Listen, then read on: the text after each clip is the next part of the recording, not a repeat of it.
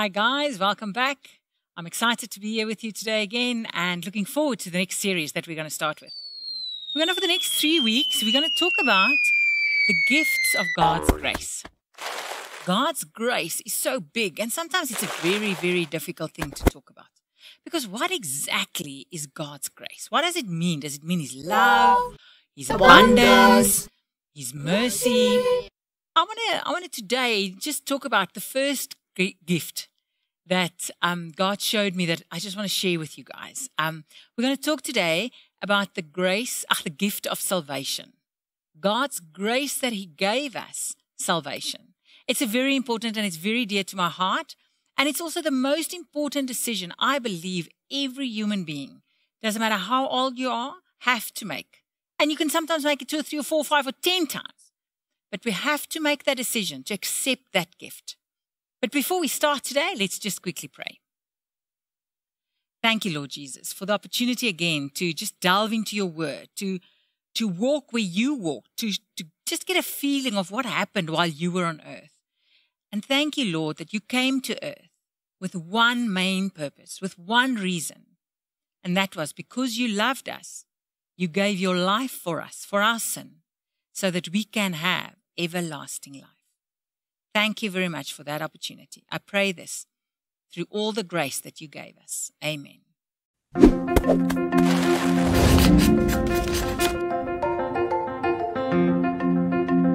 Yeah, so Jesus came to earth a couple of years ago, about 2000 to uh, yeah, just over 2000 years ago, and he walked on earth. And he was he was obedient to God because God said to him, "You have to become man. You have to become a pure man. You have to walk, work, get hurt, get angry. But then you're going to die for us. You're going to die for my people. And Jesus said, Yes, Lord, I'll do that. How amazing was that? Jesus was obedient to God. And he died for us. I died for our sins. I want to today share with you the story of Zacchaeus. Now, I'm going to take some liberty, some creative freedom in the story, because I just want to tell you the story first, and then I'm going to talk to you about the grace, the gift of grace and salvation. Okay, so let's start off. Zacchaeus was a tax collector. Now, in those days, a tax collector was uh, not a very well loved man. I don't even think in today's day, people that works for the uh, is very well known and very well loved. But those days was much more difficult because what happened was the government said, You're going to pay me a lot of money, more than what I think you should. Because as a government, they wanted to become rich. And the government employed tax collectors and said the tax collectors should go and get that money from the people. So obviously, the tax collectors had to go from people to people, from home to home, from business to business, and get the money. And you know what happened? they sometimes took a little bit more than what they were supposed to. And nobody worried. Nobody cared. The government said, you can take as many, as much money as you want, as long as I get my fair share. And Zacchaeus was one of those people. He was actually a very senior tax collector. So the uh, word of God says to us in Luke 19 that he was quite rich. Because obviously, as he took the money for the Roman Empire, as he took the money for the government, he took a little bit of money and put it in his pocket. And that money is free. It's not his money, his wages, or his salary that he got. That was free in his pocket. And he was quite a rich man. And people didn't like him. They actually despised tax collectors. There was, a, there was places in the Bible that even Jesus said the tax collectors is not the most well known and not the most well respected people. But they didn't care. Zacchaeus didn't care. He actually said, I'm a tax collector and I get money and I'm important. Do you know one of the things that Zacchaeus also was? He was short. So, unfortunately, he sometimes felt a bit left out. He sometimes felt a bit that people just walked over him because he was short. And I want to pick up the story the day before Jesus came to Jericho. And I want to just use some creative freedom here. And I want to tell you that that morning Zacchaeus sat with his colleagues. And they were all sitting around a table and they said, well, right, what are we going to do today? How many tax are we going to collect? And to who are we going to go? And what is our plan of action for today? And one of his friends said to him, You know what, Zacchaeus? We need to be very careful because I've heard that the prophet Jesus is coming to town. We don't know when. It can be today, it can be tomorrow, it can be the day after.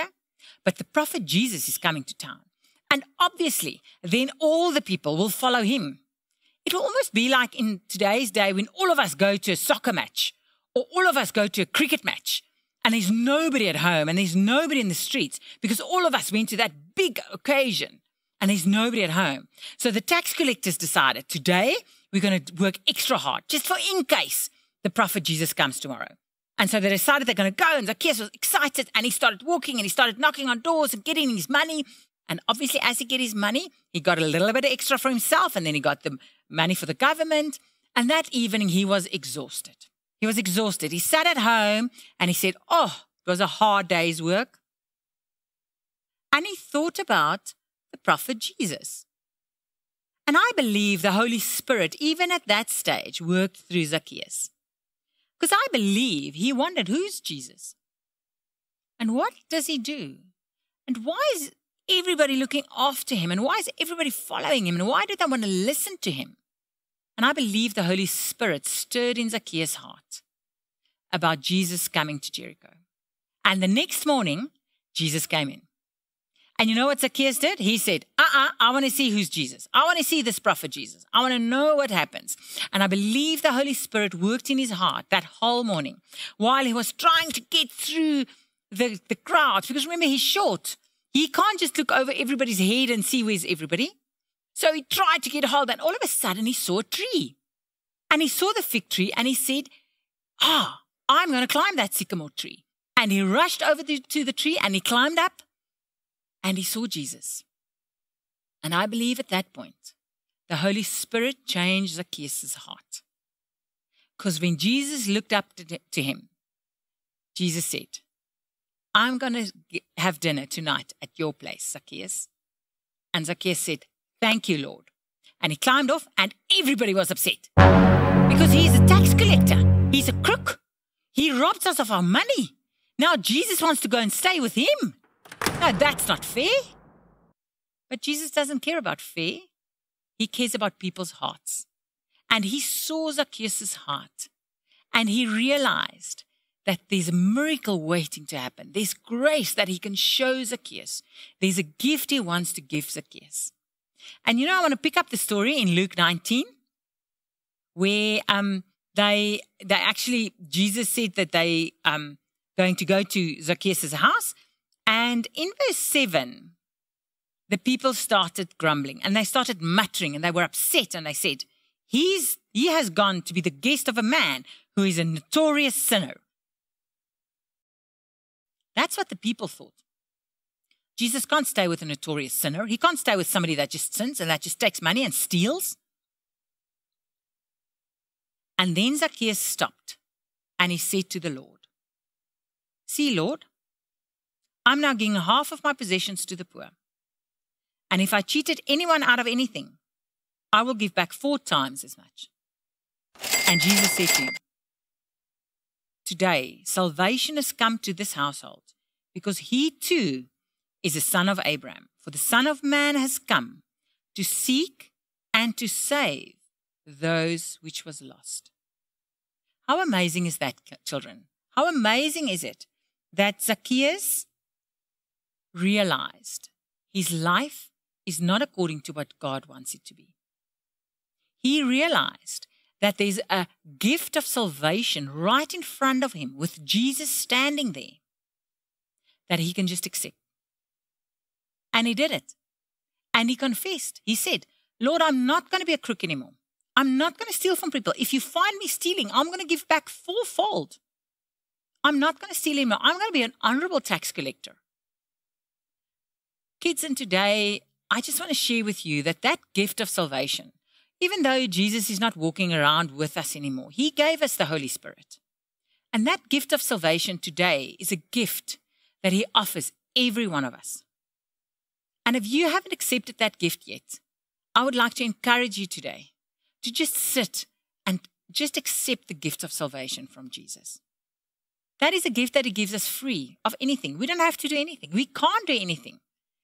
Because He says to us, the wages of sin is death. That's a fact. Doesn't matter how much I do, I can never do enough to pay for my sin, but Jesus did. And he paid for us. And he gives us that gift. He gives us the gift of salvation today still. We just have to accept it. And I want to today pray with all of you. Even if you've given your heart to Jesus, even if you've accepted this gift, this gift of salvation that God talks to us in Zacchaeus' story, even if you've done so, let's do it again. We can never be too sure. We can never be doing it enough times because every time when I do it, I get encouraged by the fact that Jesus is my savior. He came to earth to be, to pay for my sin, for every sin that I've done, that I'm doing today, that I'm going to do next year, tomorrow. And for my, for my gratefulness to him, I will do good works. I'm not doing good works to pay for my sin. I'm doing good works because Jesus paid for my sins and I'm in a relationship with him. So let us pray together and let's just pray for this gift of salvation that God shows us every day. Lord Jesus, thank you very much for the opportunity today to just share the words that you've worked through Zacchaeus to us, that you gave to us while you were in Jericho that day. While you looked at Zacchaeus, who was a tax collector, who was very sinful, he was stealing stuff, but God, you looked at him and you saw an opportunity to give to him the gift of salvation. And he accepted it. And Lord, today I just want to pray with a lot of children out there and for myself again to say, God, we want to accept your gift of salvation today. I want to accept your gift of salvation. Thank you, Jesus, that you came to earth, that you died on the cross for my sins.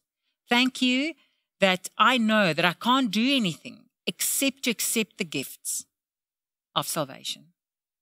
And help me from today forward to live in grace, to live in relationship with you, so that this gift can grow, so that we can bear fruit, and so that we can tell other people about this gift.